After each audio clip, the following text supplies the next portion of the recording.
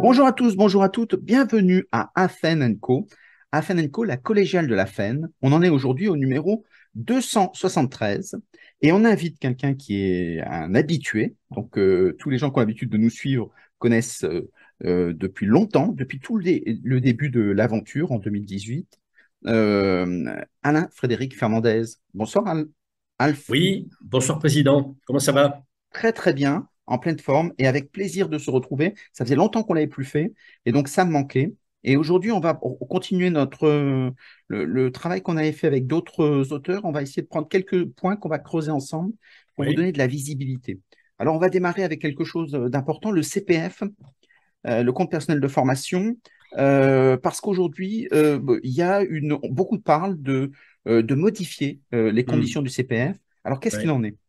Alors, ça, c'est encore une, des méthodes prévues pour se débarrasser d'organismes de formation, puisque l'objectif final, euh, c'est d'avoir 10 000 organismes de formation, ce qui est une, une hérésie complète, puisque c'est pour ressembler aux Allemands, mais les Allemands, eux, ont réussi la formation initiale, donc ils ont moins besoin de formation continue.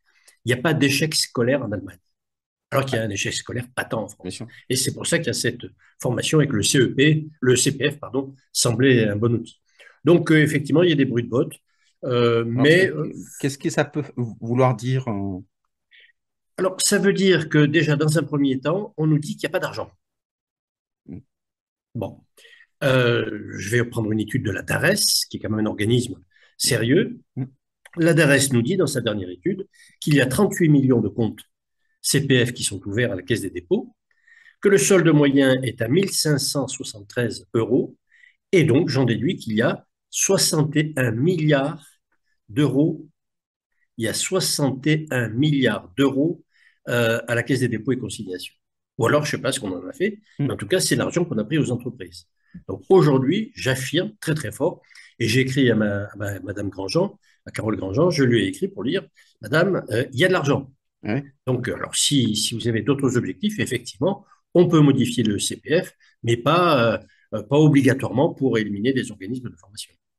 Euh, alors, euh, tu dis qu'il y a 38 millions de comptes CPF qui ont, sont ouverts. Alors, le BIT dit qu'il y a une population active de 30 millions. Oui, c'est-à-dire qu'on compte dedans le, CPF pour les fonctionnaires et les, et les collectivités territoriales, puisqu'ils ils ont aussi un CPF. D'accord? Donc là, je prends l'ensemble des actifs. Mmh, mmh. D'accord. Et les comptes ont été ouverts. Hein, mmh. euh, et, finalement, il y a des comptes qui, sont, qui ont de l'argent, qui sont dotés, euh, mais il n'y a pas une grosse dépense non plus. Ben, il y a une dépense qui est aux environs de, de 4 à 5 milliards. Mais par rapport aux 61 milliards qui encaissent, qu'on ne nous dise pas qu'il manque de l'argent. Parce que si, je me, il me semble avoir lu qu'il y avait 2 millions de, euh, de, de, comptes, de, non, 2 millions de dépenses de formation avec le, financées par le compte CPF. Euh, donc, il doit y avoir quelque chose qui reste. Ah ben, il reste, oui, oui. Il y a, ah, beaucoup d'argent.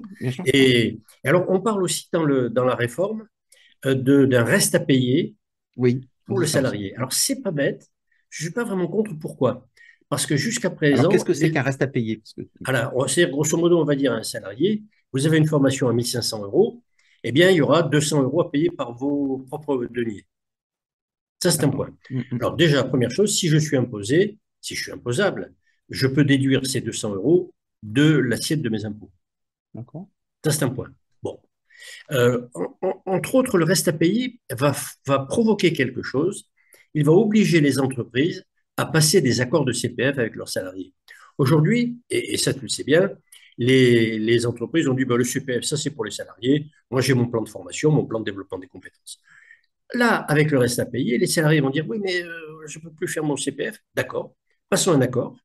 Et pour telle et telle formation qui est intéressante pour l'entreprise et pour vous, eh bien, non seulement je vous permettrai de la réaliser dans le temps de travail, mais en plus, j'abonderai moi-même. Et donc, je vous donnerai ce reste à payer.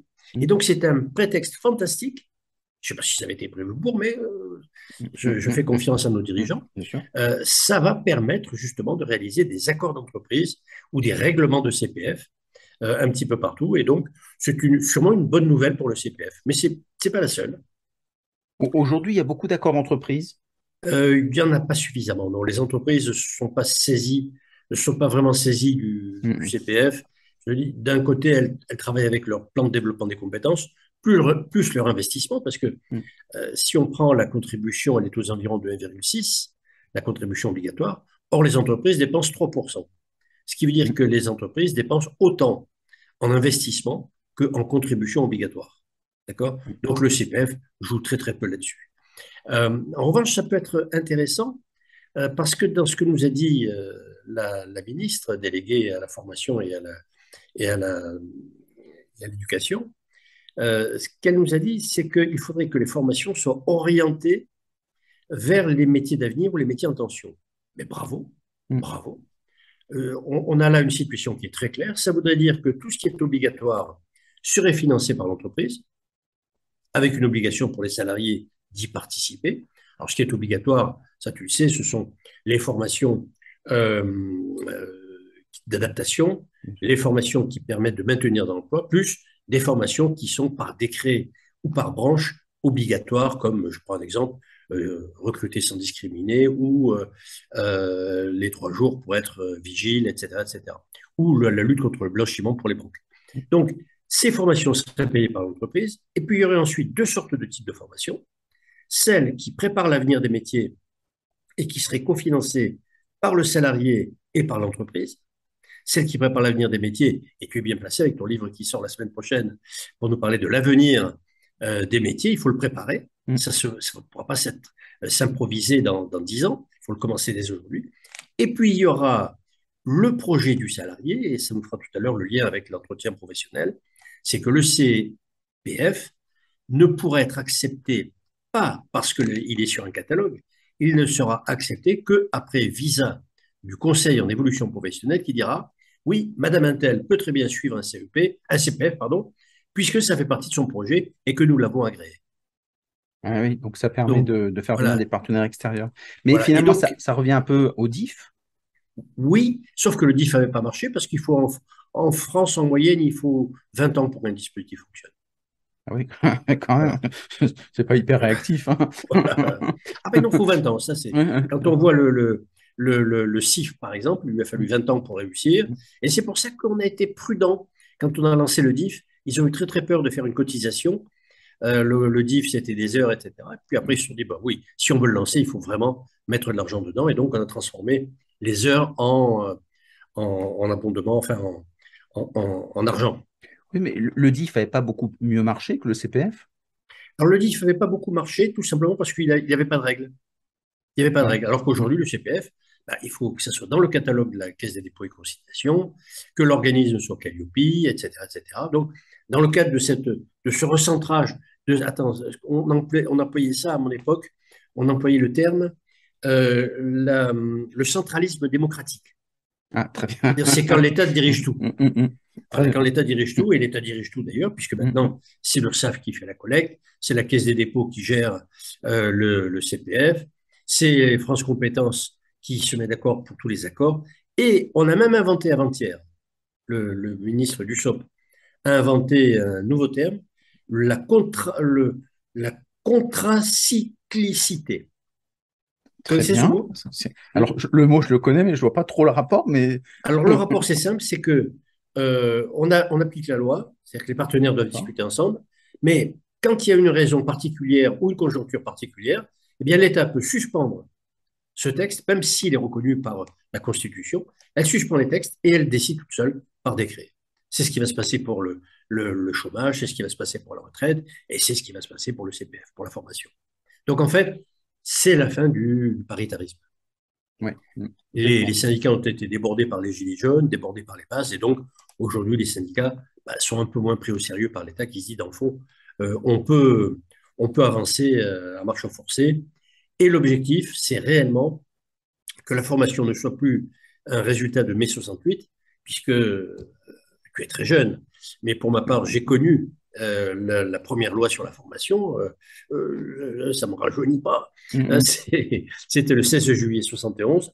Et là, il s'agissait de se servir de la formation pour se détendre, pour échanger, pour lever un peu la tête du guidon, mais pas du tout pour préparer les compétences, pas du tout pour trouver du travail, pas du tout pour parler des langues étrangères. Il n'y avait rien à faire à cette époque-là. Tout allait bien.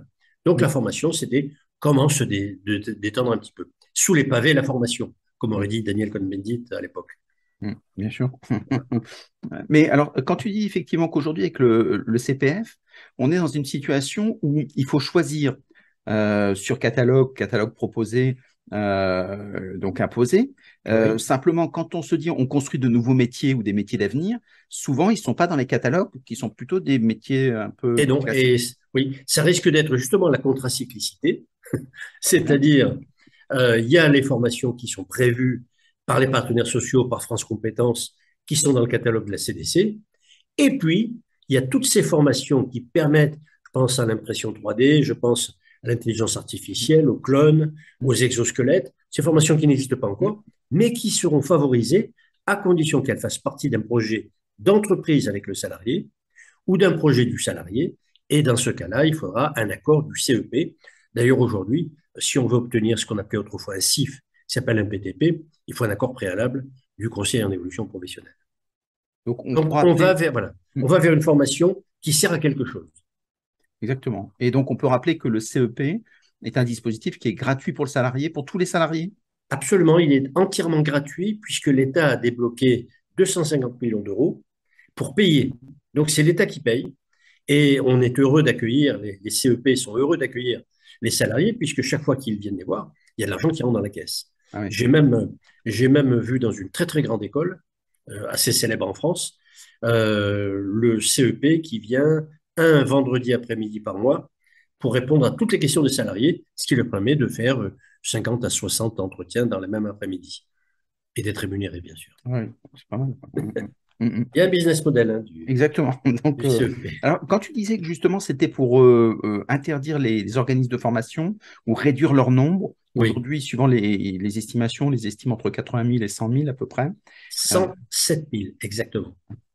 Ça dépend des sources, en fait. Oui, voilà. bah, là, c'est le, le, le, l'annuaire des, l'annuaire mmh. des, des, organismes de formation. Et donc, en, en quoi est-ce que ça va réduire le, nombre? Ça ne réduira pas. La preuve, c'est que quand on a commencé on était à 93 000 mmh. et deux ans plus tard, on est à 107 000. Oui, c'est ça. C'est pas trop une réduction, quoi. Mais ça, c'est la France. On est des résistants, intelligents, astucieux. Mmh. On sait détourner et contourner les textes. Et je dirais même que c'est pire que ça. C'est que le fait d'avoir créé Calliope et d'avoir créé tous ces systèmes de référencement et autres fait que aujourd'hui, n'importe quelle secte, n'importe quelle personne peut faire de la formation sans être formateur, sans être Calliope, sans rien, à condition qu'il travaille sur le reste, sur l'investissement formation, investissement formation, pour laquelle l'entreprise est, entièrement libre. Ce n'est pas une contribution et, elle peut dire que c'est de l'investissement et que le chef d'entreprise est le seul, ça c'est la loi, il est le seul à pouvoir décider de son plan de formation, même s'il doit en informer euh, les partenaires sociaux. D'ailleurs, il n'est même pas obligé de respecter le plan de formation qu'il a présenté, il est prévu aucune sanction si on n'a pas réalisé son plan de formation. Donc ça, ça veut dire, euh, est-ce que finalement la formation, parce que l'idée au, au, début du CEP, c'était d'éviter toutes les grosses usines à gaz, évidemment, euh, c'est pas toujours facile, hein, la preuve en est, euh, et de ramener la formation un peu sur le marché. Et donc oui. de dire finalement la formation, c'est un peu comme une consommation comme les autres.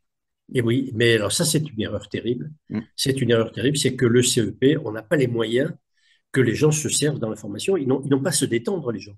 Ils ont besoin de préparer leur avenir. Aujourd'hui, on est en train de, comme le disait, comme le disait, alors, qui c'est qui disait ça? Il y a très longtemps, il y a 50 ans, euh, il y a 50 ans, l'auteur de la troisième vague, Alvin Toffler, ah, voilà, oui, Toffler, Alvin Toffler nous disait, voilà, on est en train, voilà, le choc futur, on est en train de se disputer des chaises longues sur le pont du Titanic. Ah ouais. voilà. Alors, on a l'exemple des. Aujourd'hui, on a l'exemple extraordinaire qui nous a été dénoncé ce matin par Yves Gégaud, euh, qui est le, le, patron de la réindustrialisation en France. Mmh. Yves Gégaud nous dit bah, écoutez, il y a 2 millions de petites figurines euh, des Jeux Olympiques, donc c'est la mascotte. Oui. Euh, eh bien, il y a. Je crois. Voilà. Mmh. Et il y a 80%, 80% euh, qui sont fabriqués en Chine. Oui. Donc on a quand même raté un rendez-vous. Mm, mm, mm. Or, on peut réindustrialiser la France et d'ailleurs, là je, je, te renvoie bien sûr à mon livre que tu as lu. Euh, les, on peut réindustrialiser la France sans construire une seule usine grâce à l'impression 3D. Mais ça, c'est un sujet dont j'espère on parlera euh, quand on lancera notre, une, belle, une belle série sur l'avenir du métier. Oui, avec, plaisir, vraiment. Euh, donc, ça, veut dire qu'effectivement, euh, parce qu'il y a aussi dans la formation, il y a certaines personnes qui disent finalement, je peux faire de la formation même sans numéro d'agrément, oui. sans Calliope. Donc, tous ces procès, est-ce que c'est vrai ou finalement, il faut absolument passer par ces. Ben non, non, c'est vrai. Si je ne touche pas d'argent public, si je suis payé directement par l'entreprise, je n'ai besoin ni d'être formateur, ni euh, d'être Calliope, ni d'être référencé. Je fais de l'accompagnement et cet accompagnement rentre, ne rentre plus dans le plan de formation, mais c'est un investissement dans les compétences. Donc, les Français sont, euh, je te disais tout à l'heure, sont résistants et, mm. avisés. Euh, et effectivement, aujourd'hui, n'importe quelle secte, je dis bien, mm. n'importe quelle secte pourrait pomper de l'argent aux entreprises. Elle n'est plus contrôlée comme elle l'était avant. Et, il s'agit bien, même si on n'a pas tous ces agréments préalables, d'une action de formation. Alors, ce ne sera pas une action de formation, c'est une action d'accompagnement. D'accord. Même si on a un, objectif pédagogique prédéterminé, un programme de la validation. voilà, il faut, il faut que la formation soit référencée. Il faut, voilà, c'est très sérieux. Le problème, c'est qu'on a fait de la qualité en France, mais pas de la qualité de formation, de la qualité de qualité. C'est-à-dire, même si ce que je fais n'est pas bon, dès lors que je fais ce que j'avais annoncé, c'est correct.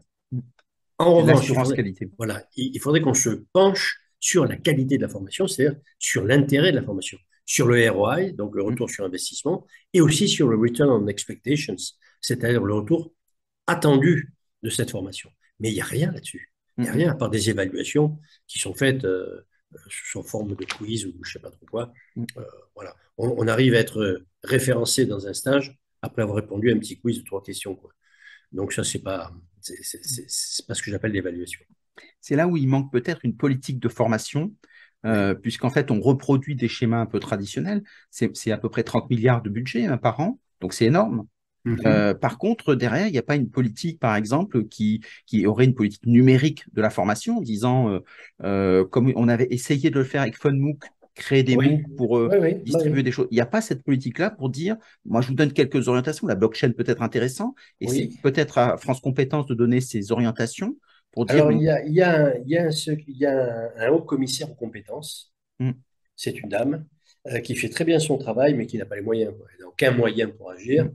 Et ce que je pense, c'est qu'une fois pour toutes, et c'est là que j'apprécie euh, la nomination de Carole Grandjean, qui est ministre déléguée à l'éducation nationale et à la formation, c'est-à-dire qu'elle est chargée de faire le lien entre l'éducation nationale et la formation. Parce que je répète, toutes les statistiques démontrent que dans un pays, quand la formation professionnelle est développée, c'est que l'enseignement euh, initial a échoué.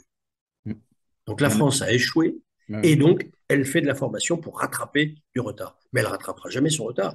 Et on ne mm. peut pas demander aux entreprises de former euh, lorsque les, quand on apprend qu'un jeune sur six qui entre en sixième est en situation d'illettrisme. Mm. Un sur six en situation d'illettrisme. 12 salariés, 12% mm. des salariés sont en situation d'illettrisme. Comment trouver du travail dans ces conditions? Et là-dessus, vu la masse que cela représente, euh, c'est énorme. C'est-à-dire qu'il faudrait faire une grande cause nationale euh, de la formation. Oui, oui parce qu'en plus, euh, tu parles de 30 milliards, ça c'est l'argent officiel de la formation. Mm. Mais si je prends la totalité, c'est-à-dire depuis le recrutement, mm. les aides de Pôle emploi, la formation, l'intégration, la formation, la performance, la mobilité et la reconversion, j'approche les 100 milliards. Mm.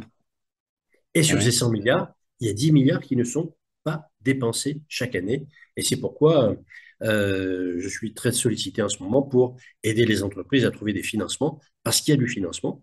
Mmh. Le problème, c'est que les sociétés, les, financeurs, ils sont 78, ne se contactent pas entre eux. Il n'y a pas une véritable politique nationale d'éducation et de formation. Et je répète, la formation professionnelle devrait commencer en sixième. Mmh. Alors, effectivement, on voit que les, les indicateurs de l'OCDE, Teams par exemple, nous met avant-dernier quand même, c'est en mathématiques, c'est énorme. Donc, il y, a des, il y a le constat, tout le monde l'a fait, donc il y a une volonté aussi affichée de faire des choses. Alors, on va voir un peu ce que ça veut dire. Mais euh, derrière, euh, c'est aussi cette volonté de recentraliser autour de France Compétences, ce que tu disais, la fin du paritarisme, de reprendre la main pour qu'on ait quelqu'un qui puisse décider et pas simplement reproduire ce qui était précédemment. Oui, oui, oui. L'objectif final, à mon avis, c'est justement qu'il n'y ait qu'un seul décideur Ce sera peut-être pas France Compétences, ça pourrait être une, une organisation qui mette dans la boucle aussi l'éducation nationale. Mm. C'est ça qui est important.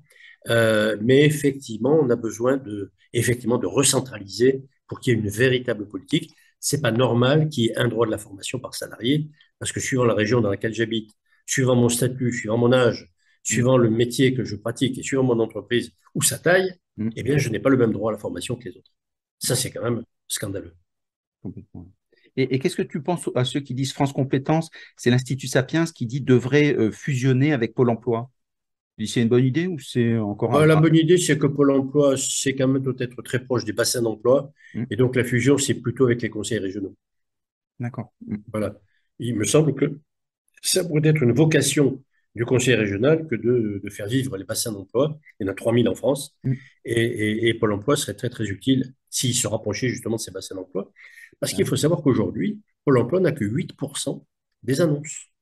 Oui. 92% sont sur Internet. Ce mm. qui veut dire qu'aujourd'hui, si je veux chercher du travail, c'est pas chez Pôle emploi qu'on va le trouver, ça se saurait. Hein. Mm. Euh, Pôle emploi, en revanche, peut donner d'excellents conseils en matière de, financement, de recrutement et de choses comme ça. Qu'on appelle, euh, enfin, l'idée, c'est de l'appeler peut-être euh, France Travail, je crois, c'est ça les. Oui, oui, oui. Alors, ben, oui, France Travail, parce que on avait oublié en France qu'il fallait travailler. alors là, je, fais un petit peu de, prospective. Mm. la valeur travail ne sera plus une valeur dans quelques années. La seule valeur qui, qui vaudra, c'est la valeur performance. C'est-à-dire qu'il y a du tracking. Euh, tu sais comme moi que les footballeurs, les rugbymen, on mesure le nombre de kilomètres qu'ils ont fait, euh, la vitesse, le nombre de passes, les, les, accélérations, les réussites, les tirs au but et tout. Eh bien, le salarié, dans très peu de temps, aura un tracking qui permettra de mesurer sa performance. On ne demandera pas au salarié de travailler longtemps, on lui demandera de fournir une quantité et un résultat de travail. Mm. Donc l'avenir du travail, ce n'est pas le travail, c'est la performance. De passer d'une obligation de moyens à une obligation de résultat Exactement, tout à fait. Et, le salarié ne sera pas un travailleur, sera quelqu'un qui, qui accomplira des performances, et, si ces performances sont acceptables, ben, c'est comme pour les footballeurs, ben, il fera partie de l'équipe ou il ne fera pas partie de l'équipe. Il sera sur le banc des remplaçants euh, avec un, minimum de 1100 euros pour vivre. Exactement. Donc, euh, j'espère que tout le monde sera payé comme Mbappé. Voilà. Euh, oui, ça, ce serait pas mal. ça, ça serait bien. Bien sûr, s'il y a de la performance, c'est bon. Euh, justement, quand on, part de, du CPF avec cette dimension individuelle, qui est à l'initiative aujourd'hui encore principalement du, salarié, donc c'est lui qui décide, etc. Au sein de l'entreprise ou à l'extérieur de l'entreprise, la cheville pour ramener dans l'entreprise, c'est souvent l'entretien professionnel. Oui. Et là, oui. Là aussi, il y a des modifications qui, vont avoir lieu? Alors déjà, il faut voir la situation d'aujourd'hui. Mmh. La situation d'aujourd'hui, c'est que les entreprises ne sont pas à jour. Oui. Les entreprises ne sont pas à jour, c'est-à-dire que quelques milliers d'entreprises concernant quelques centaines de milliers de salariés ne sont pas à jour des deux entretiens, enfin pardon, des trois entretiens en six ans et de la formation non obligatoire. Et en plus, beaucoup d'entre eux ne savent pas que c'est à eux et non pas à un organisme de contrôle d'aller directement, de créer un compte à la Caisse des dépôts, c'est un compte EDEF, créer ce compte d'entreprise et d'aller abonder chacun des salariés qui n'a pas eu euh, son bilan à 6 ans correct, l'abonder de 3 000 euros. Donc ça, c'était à l'entreprise de le faire, pour toutes les entreprises de plus de 50 salariés. Et après, en cas de contrôle, non seulement les entreprises devraient réaliser ces entretiens professionnels, mais elles devraient non seulement verser les 3 000 euros d'abondement CPF à chaque salarié, d'où l'intérêt d'avoir un accord de CPF mm, mm. pour l'utiliser. Et, autre chose, elles auraient en plus eu une amende fiscale de 3 000 euros par salarié mm. qui n'aurait pas euh, complété euh, cet ce, bilan à, 6 ans. Donc l'entretien professionnel. Tous ceux qui ne sont pas à jour aujourd'hui, euh, dans ces cas-là, doivent abonder oui. de leur propre fait, parce que justement, ils, sont, ils, ont des. Ils ont dépassé alors, ils ne le savent pas, mais c'est à eux d'aller, mm, mm. Euh, de créer un compte à la Caisse des dépôts, un compte d'entreprise, et d'aller euh, abonder les salariés un par un. C'est énorme. Eh ben, c'est énorme. Et les entreprises le savent Ils se sont dit, ben oui, il y aura un contrôle, on nous demandera. Euh, alors, l'État n'est pas trop sévère pour débuter. Chaque fois qu'il y a une discussion, on donne un certain temps à l'entreprise pour se rattraper un petit peu. Sauf si elle a vraiment trop de retard. Mm. Il y a des entreprises qui, à qui il manque, il y a une dizaine ou une vingtaine de salariés à qui il manque un entretien, on leur laisse le temps de le rattraper. Lorsque c'est une entreprise qui ne s'en est pas préoccupée du tout, et il y en a, mm. euh, là, euh, le, risque est énorme. C'est un risque de 6 000 euros par salarié. Mm. Et, donc, l'entretien professionnel, c'est comme l'entretien annuel? Alors, oui, alors ça, c'est amusant. L'entretien annuel, c'est ringard. Ça date des, années 60. C'était ce que les Américains avaient inventé, qui s'appelait le, le management par objectif. Ouais. D'accord? Donc, on disait aux salariés, alors, cette année, tu vas vendre combien? Cette année, tu vas fabriquer combien? Et bien sûr, les salariés s'engageaient. Et à la fin de l'année, on leur disait, ben, tu as une prime ou tu n'as pas une prime? Les Américains ont sorti ça, les Français se sont dit, oh, c'est une très bonne chose. Et ils ont créé une sorte de, de, machine, comme d'habitude, une usine à gaz là-dessus. Je connais même une société pharmaceutique euh, qui a 300 questions ah sur l'entretien annuel. Et d'ailleurs, on ne peut même pas se mettre en face du salarié, il faut se mettre à côté de lui pour être certain qu'on a bien coché les bonnes cases, qu'on ne s'est pas trompé. D'accord? Mm. Alors, par charité, je ne citerai pas cette entreprise, mais il y en a plein. Mm. Alors, c'est un, entretien qui n'est pas obligatoire dans le cadre de la loi, mais que les entreprises ont rendu obligatoire en l'installant dans leur règlement intérieur. Mm. Et c'est un entretien qui ne sert à rien. Il ne sert à rien. Pourquoi cet entretien annuel? Parce que si j'attends la fin de l'année pour dire à mon salarié, tu n'as pas atteint tes objectifs, j'ai pas fait mon boulot de manager. Mm. Euh, j'ai appris chez Unilever, chez qui j'ai passé 10 ans, que lorsqu'on donne un objectif à quelqu'un, on vient voir le lendemain matin s'il a commencé à y travailler. Follow, follow, follow, on nous mm. dit toujours.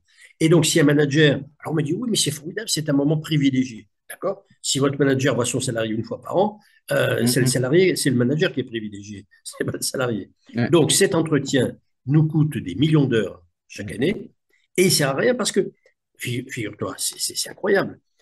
Pendant la première moitié de l'entretien, on dit au salarié qu'il a mal fait son boulot. Mmh. Et la deuxième moitié, on lui donne des objectifs encore plus forts que cette année en lui disant qu'il est sûr de réussir. Mmh. Euh, un peu difficile de tenir les deux entretiens. Mais c'est possible souvent, les commerciaux par exemple, ont l'habitude d'avoir des objectifs annuels et puis mensuels, hebdomadaires, suivant le, type d'activité qu'ils ont. Et donc après, tu as tout un suivi qui peut se faire tout au long de l'année. Oui, alors je reviens à l'univers. Mmh. Euh, y a les, évaluations se font tout le long de l'année, c'est-à-dire que tous les mois, tous les mois, on change les objectifs. C'est-à-dire on dit ben voilà, on avait prévu tant, mais la conjoncture nous amène à tant, donc on révise à la hausse ou à la baisse tel ou tel objectif, et on le suit tout au long de l'année. Mmh. Là, tandis que là, si c'est pour voir les gens une fois par an, mmh. il y a même des sociétés, je ne peux pas la citer celle-là, mais c'est terrible, il y a une société américaine en France, société de conseil, où le manager toute l'année note toutes les erreurs qu'a commis le salarié, et à la fin de l'année, quand il le reçoit, il est chargé de réduire sa prime du nombre d'incidents qu'il a pu constater. Ah et bien sûr, s'il constate beaucoup d'incidents, cette prime lui revient à lui, manager. Ah, oui. Donc, il, a intérêt à, voilà, il a intérêt à sanctionner ses salariés pour que sa prime augmente. Mm, mm, mm, Donc, si ses salariés ont été mauvais, lui est ultra. C'est formidable s'ils sont très mauvais. C'est extraordinaire. Donc, alors cet entretien n'est pas obligatoire, mais les, sociétés l'ont rendu obligatoire. Je répète, il ne sert pas à grand-chose. Et puis, on a créé un entretien professionnel qui, lui, est obligatoire dans la loi, mais que le salarié peut refuser. C'est-à-dire que le salarié peut très bien, et ça va être prévu sur le formulaire, peut très bien dire je n'ai pas de projet professionnel, je ne souhaite pas assister à cet entretien. Entre nous, ce serait une erreur de la part du salarié, parce que si un jour il avait un conflit avec son entreprise, l'entreprise pourrait dire ben, vous savez, il nous a dit qu'il n'avait pas de projet. D'ailleurs, il n'est même pas vu nos derniers entretiens professionnels. Vous voyez, on a sa signature. Donc, voilà, il ne peut pas se plaindre maintenant qu'il n'a pas été suffisamment formé ou pas suffisamment préparé. Donc, je dis bien, le salarié ne devrait pas refuser. Il faut absolument qu'il aille à cet entretien. Absolument. Alors, qu'est-ce qu'il faut qu'il y ait dans cet entretien? Est-ce qu'il y a des questions obligatoires? Alors, la question obligatoire, il n'y en a qu'une seule.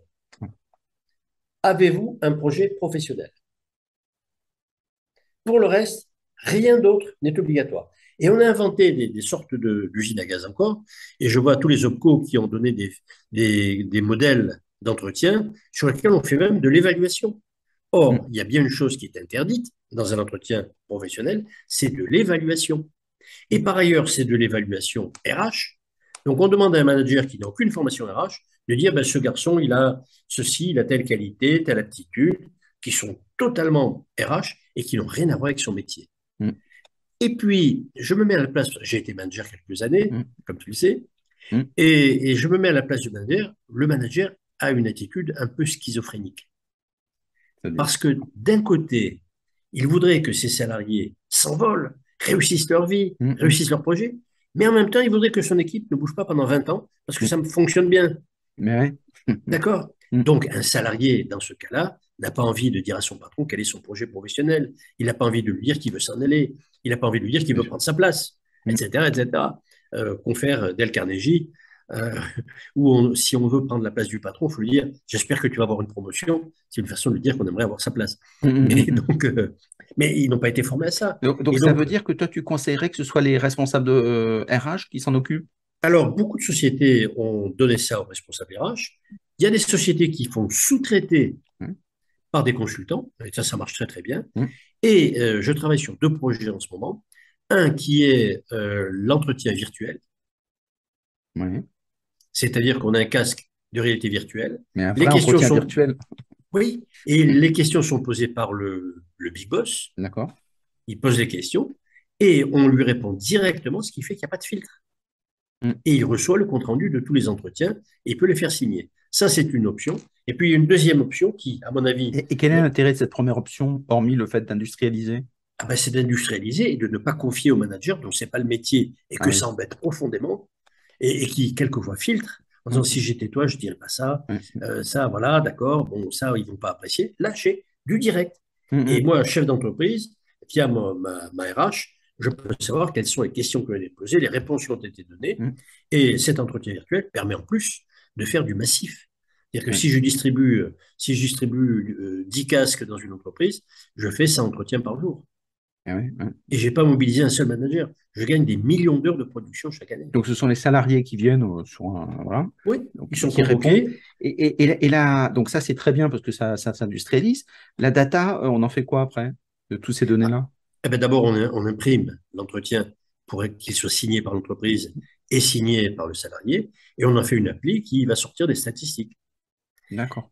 Et alors, l'autre projet sur lequel je travaille cette fois-ci avec l'ITS, c'est, euh, tu connais LITS, hein, Formation. Voilà, LITS Formation. Euh, c'est un projet avec, euh, sur lequel je travaille avec eux. C'est une appli qui ne serait pas remplie par le manager ni par l'entreprise, mais qui serait remplie par le salarié lui-même. C'est-à-dire qu'il y a une quarantaine de questions. Toute l'année, quand il a trois minutes, ben, il se connecte sur son appli et il, il, répond aux questions, il donne des avis, etc. Il peut changer d'avis d'ailleurs. Et une fois par an, on arrête les compteurs et on dit, ben voilà, on va imprimer euh, ce que vous nous avez dit cette année. Et vous avez eu l'occasion de changer, etc. Et là, je peux poser des questions non seulement sur l'entretien professionnel, mais je peux aussi poser des questions sur les compétences, et je peux aussi poser des questions sur un élément essentiel dans l'avenir, c'est le bien-être en entreprise. Mm.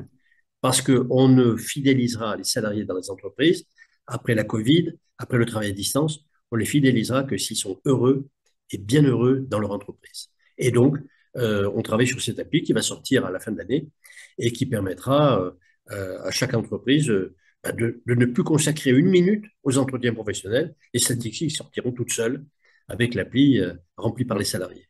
Ça veut Puisque dire que... la loi, excuse-moi, la loi dit il faut rendre le salarié acteur de son projet professionnel. Là, il sera, il sera plus qu'acteur. Ce sera l'acteur principal de son projet professionnel.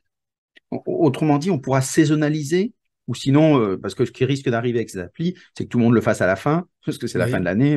Mais donc, on pourrait saisonnaliser en disant on peut poser des questions sur le, Happy Face. voilà, on fera même mieux, c'est que chaque fois que quelqu'un ira sur son appli et donnera une réponse, eh bien, sera enregistré immédiatement sur un tableau de la DRH qui pourra dire tiens, euh, aujourd'hui, il y a cinq ou six personnes qui nous ont parlé de tel ou tel problème, il faudrait qu'on réagisse. Et donc, ça permettra à la DRH non pas d'analyser tous les entretiens professionnels tous les deux ans pour en tirer des conclusions, mm.